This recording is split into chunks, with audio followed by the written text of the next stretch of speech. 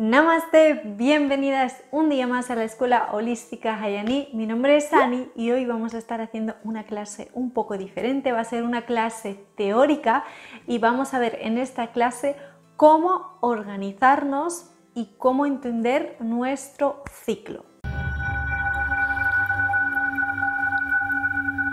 Ani, ¿cómo empiezo? ¿Por dónde empiezo? Tienes un montón de clases y no sé cómo organizarme. Esta es una de las primeras preguntas que me hacéis a todas las que os estáis apuntando y estáis apuntadas a la escuela online Hayani. Es normal que surja esta duda porque cuando entras en la escuela ves muchísimas clases y muchos tipos de clases, yoga, meditaciones, rituales, danza. Entonces puede ser abrumador encontrarte pues mucho contenido. Pero además no quiero centrarme solo en, la escuela, en decirte cómo organizarte en la escuela, sino que cómo organizarte como mujer en tu día a día, porque vamos a hablar sobre los ciclos de la mujer y cómo una mujer, o cómo yo realmente me organizo para eh, fluir con el ciclo natural eh, de ser mujer. Así que coge tu libreta y un bolígrafo y vamos a empezar. Es una bendición ser mujer y tenemos que honrar el hecho de ser mujeres y tener estas fases cambiantes y también es eh, entender estas fases es una gran herramienta para que podamos evolucionar y también podamos fluir con la vida de una manera más conectados con la naturaleza y con nuestro cuerpo, con nuestros cuerpos. Aquí uno de los grandes protagonistas en regular nuestro ciclo, ya que no lo regulamos nosotros porque al final la luna es la luna, el protagonista es la luna, porque la luna influye con su campo electromagnético sobre la Tierra, sobre las aguas, océanos, eh, plantas, o sea, sobre todos los seres, sobre la Tierra en general y sobre nosotras, porque también nosotros los humanos tenemos mucha agua en nuestro interior, así que imaginaros si la luna afecta a los océanos, cómo no nos va a afectar a nosotros. Y la luna, de una manera no tan positiva, vamos a decirlo así, em, afecta al ciclo de la mujer porque como afecta, nosotras no tenemos ciclo natural, que es el ciclo el que nosotras, eh, digamos que llevaríamos naturalmente si la luna no estuviese. Pero como la luna está ahí, pues tiene un efecto muy grande en nuestros cuerpos.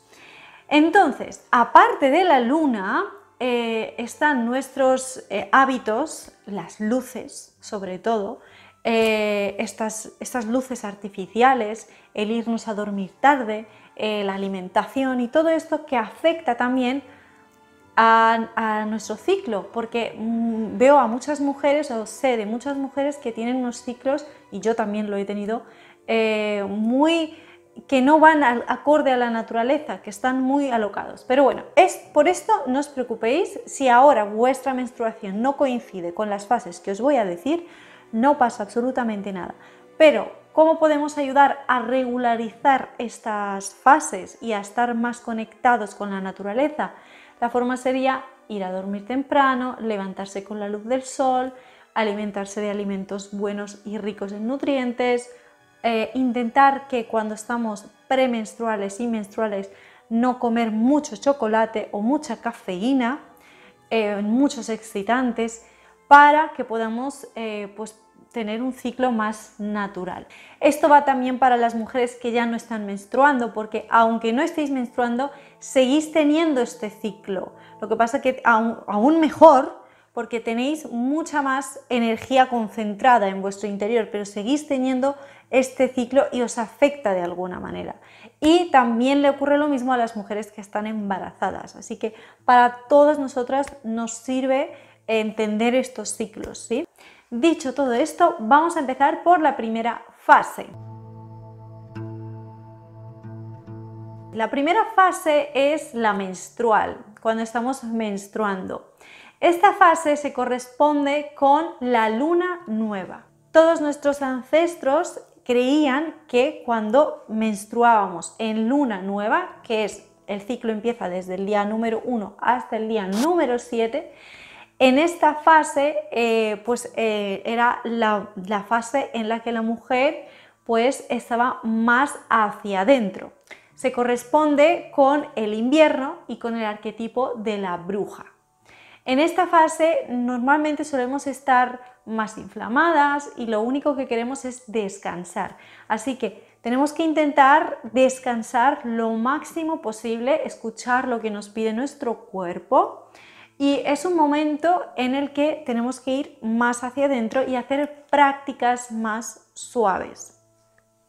¿Qué podemos hacer en esta fase para que sea algo que, que yo os pueda decir, pues este tipo de clases, este y este? Pues lo mejor en este momento menstrual, que se corresponde, como hemos dicho, con eh, el, invierno y con el arquetipo de la bruja, serían las meditaciones, serían las clases de yoga que fuesen suaves, por ejemplo, yin, porque en este momento estamos, es la fase más yin, más hacia adentro, más hacia la oscuridad. Oscuridad no quiere decir malo, sino que más hacia el interior. Entonces, Yin Yoga va perfectísimo en esta fase. Después tendríamos prácticas de, por ejemplo, de salir a caminar suave, de ir hacia afuera también en momentos para oxigenar el cuerpo y el útero. Eh, entonces podrían ser un slow flow, una danza slow flow, que serían movimientos ondulantes y circulares, pero hechos de manera suave, sintiendo y dejando que se vaya oxigenando el útero, porque de esa manera vamos a reducir dolores, vamos a reducir inflamaciones y también alguna práctica de yoga para ir a dormir. Todas estas clases de yoga que son mucho más yin, pues nos van a venir perfectos. Entonces, esta fase es reflexión, ir hacia adentro, descanso, silencio y soledad, porque realmente tampoco estamos en un momento en el que queramos socializar mucho, o al menos esto me pasa a mí. Entonces es, es un momento para estar con nosotras mismas. Y además, en las culturas antiguas, las mujeres en este momento, en esta fase, es cuando hacían la magia más poderosa. Las brujas lo que hacían era eh, ofrendar la sangre a la tierra y también hacían otros rituales con la sangre menstrual. La sangre menstrual es una de las sangres más abundantes, poderosas energéticamente, porque eh, dentro de esa sangre hay vida.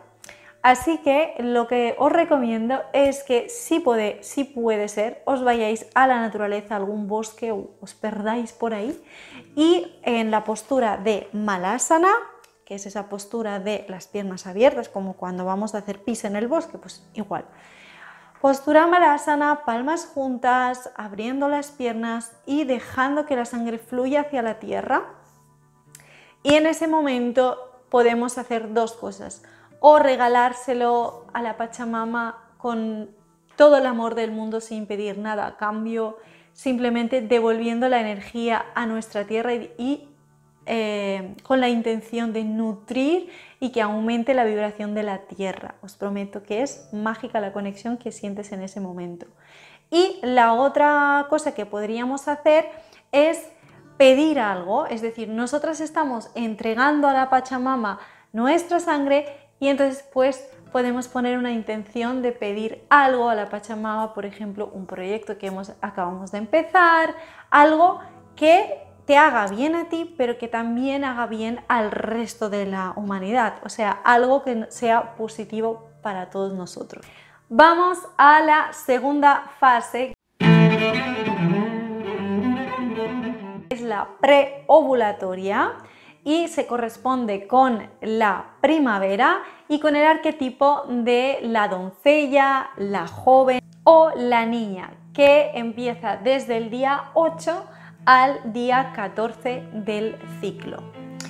¿Qué pasa en esta fase? Hemos terminado de menstruar, se corresponde con la primavera, todo vuelve a renacer, es como, uff, hemos soltado lo que teníamos que soltar y toda la energía se renueva y boom, empieza un chute de energía que nos sentimos llenas de energía y en este momento es cuando nuestra mente está más clara. Así que si tienes que estudiar algo, o si tienes que em, memorizar algo, es el mejor momento. Tenemos mayor capacidad de memoria y además tenemos esa energía. Y este es el momento perfecto para empezar un nuevo proyecto. Como la mente está más clara, la mente está más fresca, más analítica, es el mejor momento de planificar. O sea, no estamos tan emocionales, digamos que es como, al mismo tiempo es como la parte más masculina, la energía más masculina es eh, justamente en la preovulatoria, después de haber menstruado, esa parte masculina que es tirar para afuera, eh, empezar proyectos nuevos, tener la mente clara, la energía fresca, fuerza. Y bueno, pues las mejores eh, clases que podríamos hacer o actividades que podríamos hacer, pues sería justamente las actividades de fuerza, las actividades de cardio, las actividades de memorizar cosas. Entonces sería muy buena idea empezar por coreografías. Así que si tienes que hacer coreografías, calculas Mm, o aprenderte coreografías, calculas que sea en, tu ciclo desde el día 8 al día 14, justamente después de haber menstruado. Eh, porque vas a aprenderte mucho más rápido las coreografías. Entonces, todo lo que sean clases de shimmies, todo lo que sean yoga fuerte, es decir, power yoga, o entrenamientos para bailarinas, entrenamientos de brazos, entrenamientos de piernas, abdominales, todas estas cosas de físico, fuerza, o sea, la energía masculina está latente ahí, pues justamente todos esos tipos de em, actividades y todas estas clases se pueden hacer en esta fase. Vamos a la fase, a la tercera fase, la ovulatoria. Aquí vamos, aquí es otra fase increíble la ovulatoria se caracteriza por representar al verano y también estamos en el arquetipo de la madre. Esto ocurre desde el día 15 hasta el día 21 de nuestro ciclo. Entonces, ¿qué pasa en este momento del arquetipo de la madre? Pues que estamos mm, mucho más conectadas con nuestra feminidad, estamos llenas de vida, tenemos la energía más expansiva, entonces ya igual queremos socializar más, entonces ya este momento es, más de socializar con otras personas, aumenta nuestra autoestima también, porque es que eso, la, la energía femenina nos invade por completo, aumenta la libido también, pues igual tenemos muchas más ganas de tener sexo, estamos radiantes, estamos fértiles, fértiles a nivel de todo, a nivel energético, a nivel ya me entendéis. En esta fase eh, yo diría que es, es, como la mejor fase, porque en esta fase es que podemos hacer cualquier cosa, ¿no? Eh, sí que es verdad que, que, ya no es lo mismo de, que teníamos en la preovulatoria, que quizás estábamos con la mente más clara, eh, pero aún así sí que es un momento en el que podemos hacer coreografías y que también podemos escuchar pues clases como esta, teorías, porque la teoría es como que te entra mejor, eh, pero es como esta energía expansiva, ¿no? En la que quieres compartir. Así que sería como quizás juntarte con alguna amiga para bailar o, no sé, crear un círculo de mujeres, es esta, esta energía de, querer compartir, ¿no? de querer hacer cosas juntas. Entonces, bailar te va a ir súper bien, hacer clases de yoga, ya te digo, en esta fase es como eh, que todavía no se ha perdido mucho la fuerza, que sigues teniendo fuerza, entonces puedes hacer la clase que tú quieras, elegir em, más clases, diría yo, más activas, no tan pasivas, aunque la meditación siempre nos viene bien, pero la meditación yo la dejaría como hasta la premenstrual y la menstrual, porque es cuando, si, estás empezando obviamente, porque es cuando estamos más receptivas a la meditación porque estamos como más bajitas de energía. Y sin embargo en la joven y en la madre estamos como mucho más vibrantes, mucho más llenos de energía, así que en estos momentos pues aprovechamos para hacer las clases o hacer las actividades en las que haya pues mucho más eh, cardio, energía, fuerza. Esto es clave, tenéis que coger una libreta y, e ir apuntándoos y yo os estoy dando estas claves pero vosotras mismas tenéis que hacer cada una vuestro calendario porque el ciclo de cada mujer va a ir diferente. Y vamos a la cuarta fase,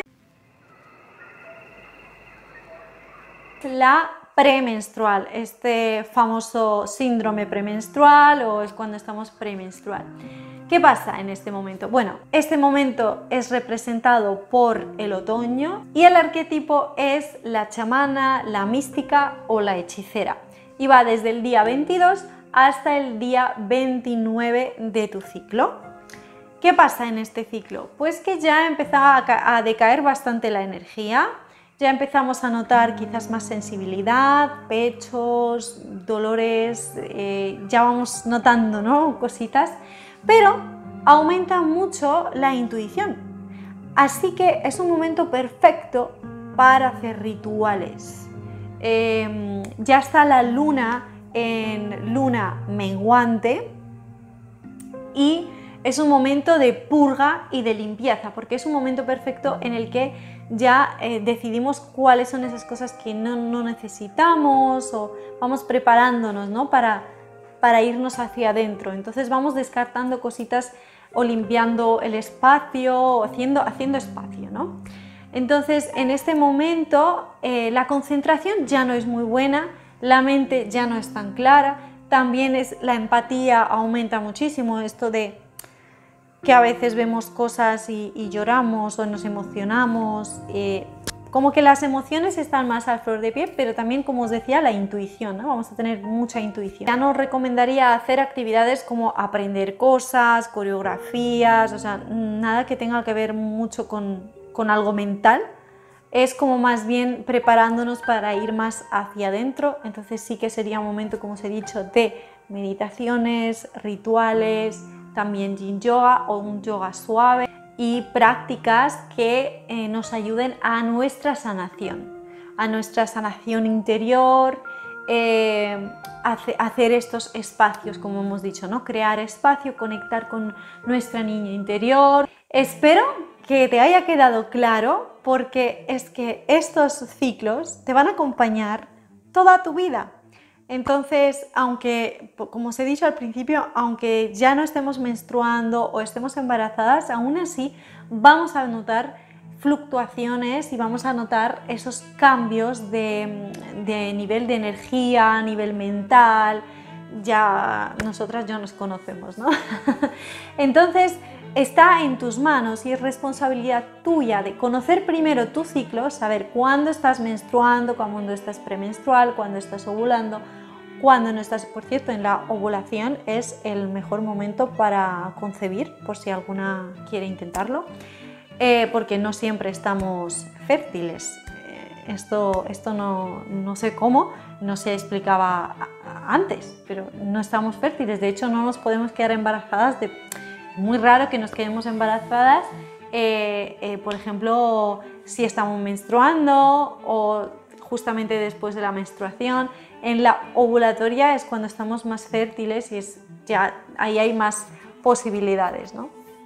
Bueno, pues eso, decía que es nuestra responsabilidad saber nuestro ciclo, entenderlo, para que a partir de ahí eh, nos podamos hacer un, guion. Con guion no quiero decir que todo esté planificado a rajatabla, pero te va a ayudar bastante a entender y, decir, ah, pues mira, en, este, en esta semana voy a estar menstruando. Pues me voy a coger mi libreta y voy a apuntar todas las prácticas que, mm, que le corresponden a la fase de la menstruación. Pues meditaciones guiadas, meditación para la luna, lo que toque en ese momento, ¿no? Y entonces vais buscando también en la escuela meditación, yin yoga, clases de yoga suaves o yoga para dormir y ese tipo de clases o slow flow, ese tipo de clases que te van a ayudar a conectar contigo en ese momento y en ese ciclo. Porque obviamente estoy segura de que si yo cuelgo una clase eh, de cardio el día que tú estás menstruando, no te va a apetecer hacerlo, ¿a que no? Si te ha quedado alguna duda, déjamelo saber aquí abajo. Como siempre, te mando un abrazo gigante lleno de luz, lleno de amor y nos vemos en nuestra próxima clase. Namaste.